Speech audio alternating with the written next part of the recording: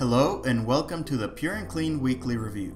This is a segment produced by Pur'N'Kleen to summarize all Star Citizen news that relates to business in the verse. If you like it or have feedback, drop us a note in the comment section of our YouTube channel. And with that, here is what you need to know for the week of May 29th, 2017. There was a failed attempt on Imperator Costigan's life while he was speaking at the Banking Federation Summit in New York City in the Sol system. One Marine and one of the assailants were shot dead in the confrontation, and several others are in critical condition. Imperator Costigan is the most vocal proponent for the Human Xi'an Trade Initiative, or HUXA as it is better known. Huxa opponents claimed that it would be a danger to the Empire's independence if the Huxa initiative were to pass.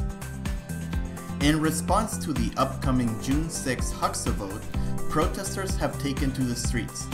Anti-Huxa advocates have called for a boycott of the popular Xi'an-owned CTR stations, as well as boycott to all Xi'an corporations operating inside the United Empire of Earth. Extremists in the coalition have also called for a boycott of companies with Xi'an interests, such as the Musashi Industrial and Starflight concern, better known as MISC.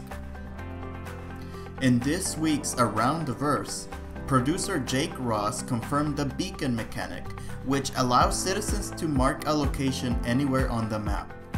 This mechanic will allow players to conduct business by giving the coordinates of their beacon to another citizen, so that they may quantum travel to that location.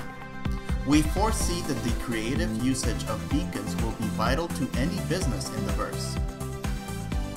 Tony Zurovec, the server engineering team, and DevOps have completed the shopping service, which will allow in-game shops to be implemented and hooked up into the shopping tech we can expect an early version of this service to ship with Star Citizen 3.0.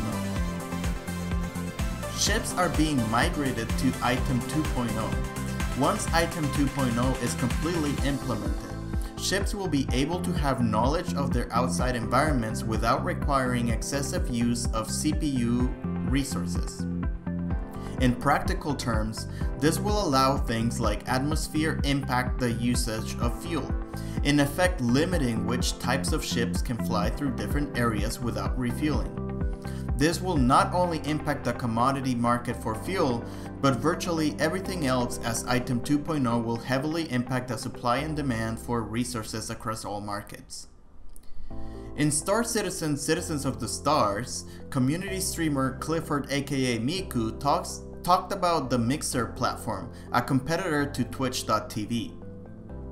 The platform, which is popular among Xbox gamers, was previously known as Beam until it got acquired by Microsoft and rebranded as Mixer. It offers a slightly more interactive user interface than Twitch, better video quality, and lower network latency. If you are considering getting started with video streaming, you should check out Mixer to see what they have to offer, and you can do so at mixer.com. You can find further reading on this news and more by subscribing to Pur'N'Kleen channels in the notes section below. Or if you'd like to join us in Star Citizen, you can check us out on our website at purnkleen.com. Until next time, this has been the Pur'N'Kleen Weekly Review. Thanks for subscribing from the team at Pur'N'Kleen.